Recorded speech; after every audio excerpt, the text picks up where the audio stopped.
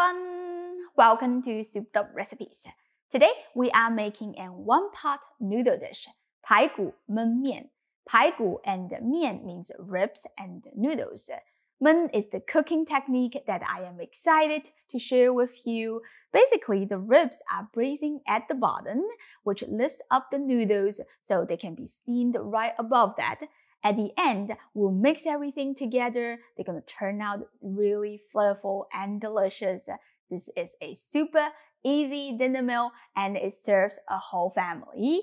Let me turn on the stove to preheat my clay pot because it does take a few minutes to get ready. Other heavy duty cookwares such as a Dutch oven or a cast iron pot will also work. During this time, you can prepare your ribs. Use the tip of your knife to loosen up the silver skin on the edge. Grab a paper towel and rip that off. This is an optional step, but your ribs will come out much tender without it.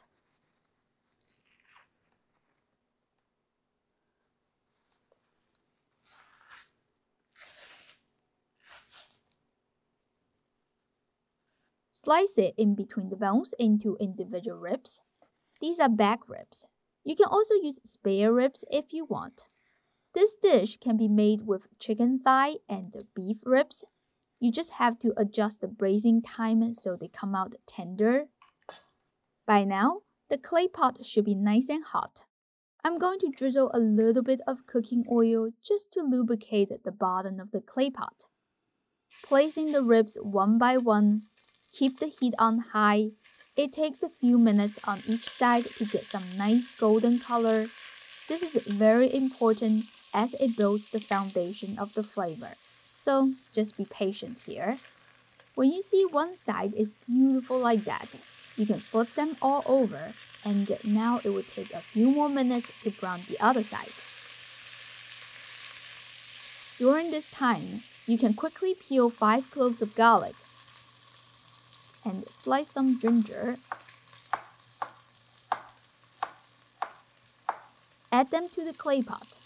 Stick them in between the ribs. Let the heat to activate the aroma.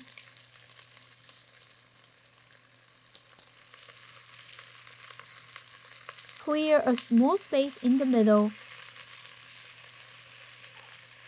and add one and a half tablespoon of sugar. Just leave it there and let the sugar caramelize slowly. Let's give it a check. The other side of the ribs is nice and golden now. Roughly mix it to even out the sugar a little bit. Now you can add a quarter cup of Chinese cooking wine, a quarter cup of soy sauce, 1 tablespoon of dark soy sauce, Mix this really well.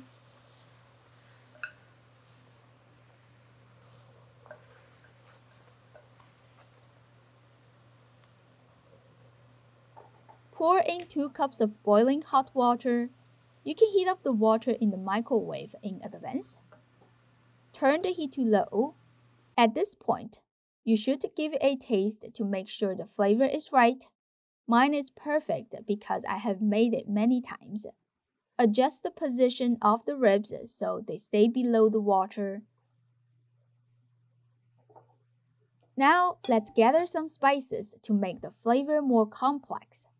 1 star anise, 1 and a half teaspoon of Sichuan peppercorns, 1 cinnamon stick, 2 bay leaves. Optionally, add a few red dried chilies for a little kick. You can throw all the spices directly into the clay pot but I like to use a spice bag because I don't want the Sichuan peppercorns to distribute everywhere. Otherwise, they will cling onto the noodles later and become super annoying. The ribs need to be simmered for 50 minutes. Before we move on, let me introduce you today's sponsorship, Souped Up Recipes Clay Pot. I know clay pot may sound new to you, but it is a traditional cookware in Chinese cuisine it has a high heat capacity.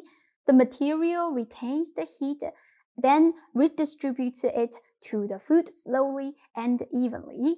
The heavy-duty wall allows for better browning and caramelization. Then you can maintain low and slow temperature on the stovetop or in the oven, perfect for making soup, stew, pot roast, and congee. It can also handle simple tasks such as boiling noodles, wontons, and dumplings. I love the blue top and the hammer design. It functions as a beautiful serving piece that keeps your food warm on the table. If you want to buy it, the link is in the description. Go check it out. Now let's talk about the noodles. I'm using fresh ramen noodles. You can use other types such as egg noodles, wonton noodles, lo mein noodles, even pasta will work, but they need to be fresh. Dried noodles from a package contain a very low water ratio. They will not cook right with the Men method. Most Asian markets will carry fresh noodles in their fridge or frozen section. If it is frozen, you have to defrost it in advance. If you cannot find fresh noodles and you have time, you can click this video to learn how to make your own. It has been simmered for 50 minutes. Let's check the doneness of the ribs. When you see the meat is pulling away from the bone like that, you know it's tender.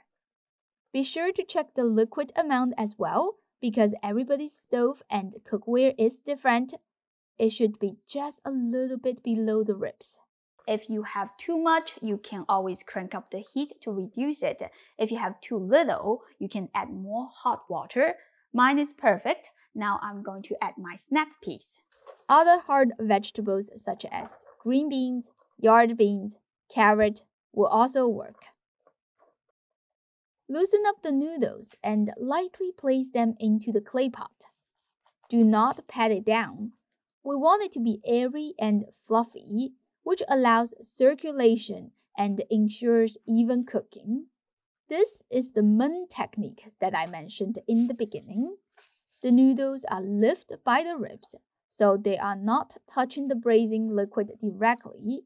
We're just using the steam to heat up the noodles.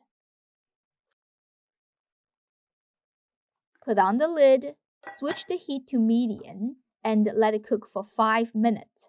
5 minutes later, all the noodles are wilted. Give it a nice mix to combine the sauce with the noodles.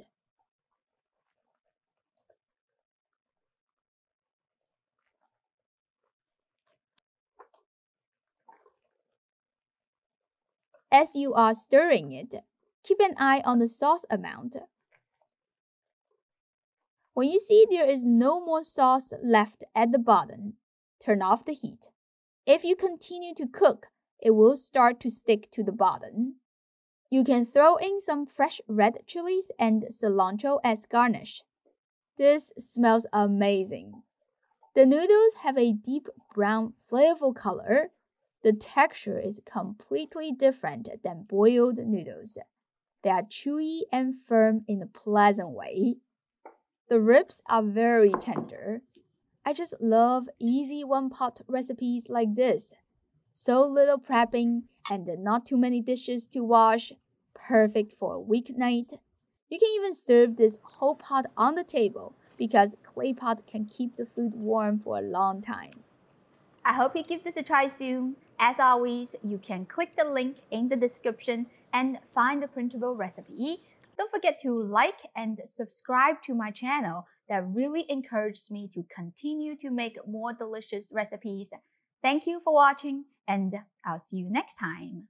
Bye!